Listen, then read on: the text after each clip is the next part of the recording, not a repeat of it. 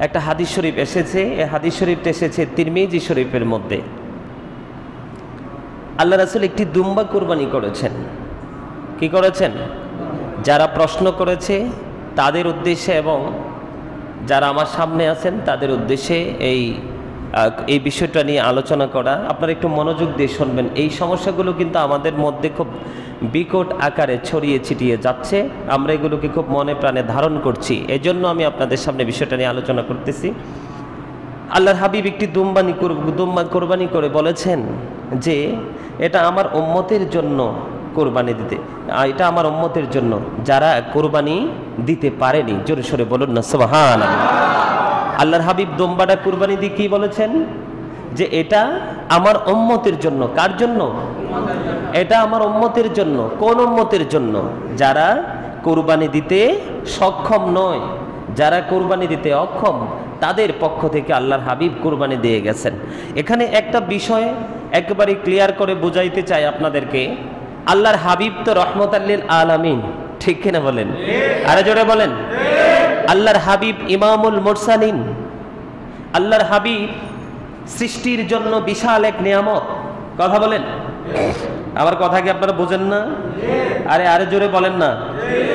মহাব্বতে।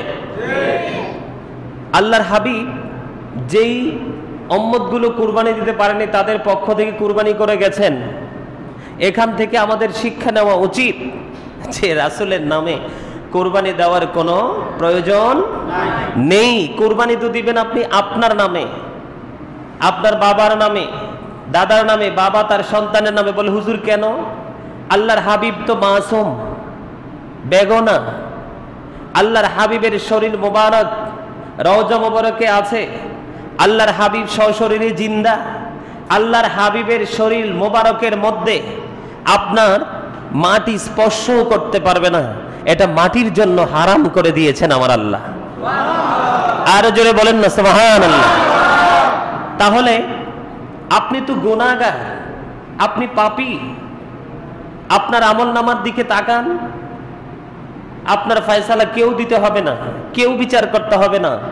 আপনি আপনার আমল নামার দিকে তাকাইলে দেখতে পাবেন আপনার আমল নামা এত বেশি পাপ।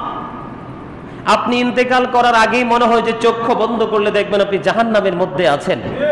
আপনারে না বাঁচার দরকার, আল্লাহর হাবিবের বাঁচার দরকার নেই। তিনি পৃথিবীতে আগমনই করেছেন কদম দুইটা দিয়ে। আর আপনি আমি পৃথিবীতে এসেছি মাথা দিয়ে। আল্লাহর হাবিব পৃথিবীতে এসে রব্বি হাবলি উম্মতি বলে আল্লাহর কাছে দুই হাত তুলে প্রার্থনা করেছেন, আল্লাহ, আমার উম্মতকে আমার হাওলা করে দাও। আর আপনি আমার মাথা আগে এসে ওয়া ওয়া করে কেঁদেছি। আপনার আমার এই কান্নার মানেও সবাই বুঝেনি। ঠিক কিনা বলেন? আল্লাহর হাবিব আর আপনি আকাশ আর পাতালের চাইতে আরও বেশি ডিস্টেন্স কথা বলেন ঠিক কিনা? সম্মানিত উপস্থিতি, কোরবানি আপনি আপনার নামে করবেন। এই জন্য আপনি আপনার নামে কোরবানি করবেন।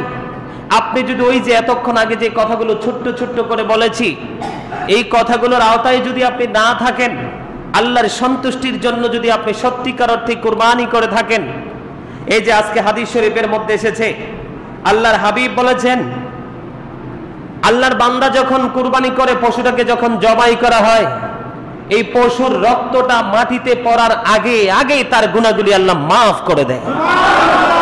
আপনার আমার গুণা মাফের প্রয়োজন আছে। আল্লাহর হাবিবের তো গুনাই নাই, তিনি আর গুণা মাপ পাবি কি জন্য মাপ চাইবে কি জন্য? উনি তো সৃষ্টির জন্য নেয়ামত, গোটা সৃষ্টি জগতের জন্য নেয়ামত। ওনার তো কোনো চিন্তা নাই, চিন্তা তো আপনার আর আমার। কথা কি বুঝে এসেছে? কোরবানি করবেন আল্লাহর সন্তুষ্টির জন্য। আল্লাহর দিদারের আশায়, যেমনি ভাবে ইব্রাহিম আলাই সাল্লাম তার আদরের সন্তান ইসমাইল আলাই সাল্লামকে বলেছেন, আমি স্বপ্নে দেখেছি, তোমাকে আমি কোরবানি করেছি। ইসমাইল আলাই সাল্লাম বলেছে, আব্বা, আপনি আপনার কাজ সম্পূর্ণরূপে পালন করুন। আপনি আমাকে ধৈর্যশীল হিসাবে পেয়ে যাবেন। আওয়াজ তালে আপনি আজকে কয়টা টাকা খরচ করে সুন্দর একটা পশু কুরবানি দিতে পারেন না? ওই দিন যদি আল্লাহ রাব্বুল আলামিন ইসমাইল আলাই সাল্লামের কোরবানিকে কবুল করে নিত। আজকে প্রত্যেকটা বাবা নিজ হাতে তার সন্তানকে কোরবানি করে দিত। কথা বলেন ঠিক কিনা? আল্লাহ কি দয়ার সাগর না? আল্লাহ কি রহিম না? আল্লাহ কি রহমান না? কথা বলেন। সম্মানিত উপস্থিতি জীবন ভর আমল করতে পারবেন। যতক্ষণ না পর্যন্ত ভালোবাসা নিয়ে করতে না পারবেন। ইম্পসিবল কখনোই সফল হওয়া সম্ভব নয়। কথা বলেন, ঠিক কিনা? আমার কথা কি বুঝতে পেরেছেন? তো এই জন্য আমি বলছি আপনাদেরকে, আরেকটা কথা হলো, কুরবানির পশুর রক্তটা জমিনে পড়তে দেরি, তার আগে আগে আল্লাহ রাব্বুল আলামিন তার বান্দার জীবনের গুণাগুলি মাফ করে দেয়। আর প্রত্যেকটা পশমের বিনিময় তার আমল নামাই আল্লাহ রাব্বুল আলামিন নেক বরাদ্দ করে দিয়ে দেয়। আরও জোরে সুবহানাল্লাহ। তাহলে এই কুরবানি নিয়ে আমাদের সচেতন থাকা প্রয়োজন আছে না নাই? আরও জোরে বলেন। আছে?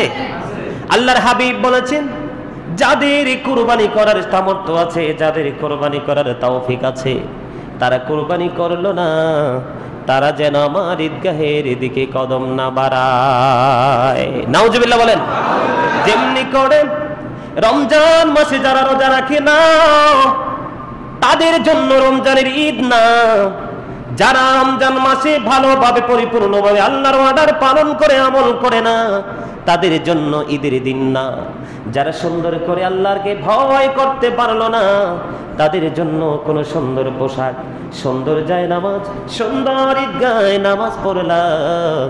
তোমাদের এগুলো আল্লাহর দরবারে গ্র্যান্টেড না। তেমনি ভাবে কোরবানি যারা আল্লাহ রাব্বুল আলামিনের সন্তুষ্টিতে তফিক থাকা সত্ত্বেও দেয় না। আল্লাহর হাবিব বলেছেন, তারা যেন ঈদগাহের দিকে কদম না বাড়ায়। আরও জোরে নাউজুবিল্লাহ। মহাব্বতে বলেন, নাউজুবিল্লাহ। বন্ধুরে আমার কোরবানির পশু কিনতে হবে অত্যন্ত সুন্দর, চমৎকার দেখে। টাকার হিসাব করে, গোস্তের হিসাব করে কেনা চলবে না। আগে চিন্তা করতে হবে, পশুটা কতটুকু সুন্দর, কতটুকু মায়া লাগে। আপনি যদি ছাগল দিয়ে কোরবানি দেন, আপনি যদি দুম্বা দিয়ে কোরবানি দেন, আপনি যদি ভেড়া দিয়ে কোরবানি দেন তাহলে আপনার জন্য বরাদ্দ হলো এক বছরের বয়স লাগবে। কত বছর? এক বছর বয়স লাগবে। যদি ছয় মাসের বেড়া, বকরি দুম্বা যদি ছয় মাসের হয়, মোটা তাজা হয় ছয় মাসেরটা দেখতে যদি এক বছরেরটার মতো দেওয়া দেখতে দেখা যায় তারপর আপনি ছয় মাসেরটা দিয়ে দিতে পারবেন। একটা ছাগল, একটা কুরব একজনের নামে কোরবানি হবে, একটা ভেড়া একজনের নামে কোরবানি হবে, একটা দুম্বা একজনের নামে কোরবানি হবে। এখানে দুইজন শরিক দিতে পারবেন। অনেকে আমার কাছে প্রশ্ন করেছে, হুজুর, একটা ছাগল দুইজনে মিলে কোরবানি দেয়া যায় কিনা? আমি বলছি, না, একটা ছাগল একজনই কোরবানি দিবে। জোরে গরু দিয়ে যদি আপনি কুরবানি দেন, বাংলার জমিনে বেশিরভাগ মানুষ গরু দিয়ে, মহিষ দিয়ে কুরবানি দেয়। আমাদের দেশের ম্যাক্সিমাম ম্যাক্সিমাম মানুষ হচ্ছে বিলাসবহুল ভাবে থাকতে চায়, ঠিক কিনা বলেন? একটু বিলাসিতা পছন্দ করে। দামরা গরু যত মোটাই হোক কুরবানি দিতে চায় না বেরেস গরু লাগবে, কারণ দেখতে বেশি সুইটেবল হয়। কথা বলেন ঠিক কিনা? আল্লাহর হাবিব বলেছেন গরু দিয়ে যদি কুরবানি দেন, আমাদের জন্য হুকুম হলো দুই বছর হতে হবে। কয় বছর? এই যে পশুগুলোর কথা বললাম, এই পশুগুলো কানা হইতে পারবে না ল্যাংরা হতে পারবে না, দুর্বল হতে পারবে না লেসকাটা হতে পারবে না, দাঁতহীন হতে পারবে না, হিজড়া হতে পারবে না। এই রকম ত্রুটি মুক্ত থাকতে হবে, ত্রুটি যুক্ত হলে কোরবানি হবে না। কথা বলেন ঠিক কিনা? আরও জোরে বলেন ঠিক কিনা? আ বন্ধু, এই জন্য রাতের অন্ধকারে গরু কিনা যাবে না। ঘর অন্ধকারে অন্ধকারে ঘর থেকে গরু কিনা যাবে না। এটাকে ভালো করে হাঁটাইয়া হাঁটাইয়া দেখতে হবে, এটার মধ্যে কোনো সমস্যা আছে কিনা? সমস্যা থাকলে এটা কোরবানি হবে না। ঠিক কিনা বলেন? আমাদের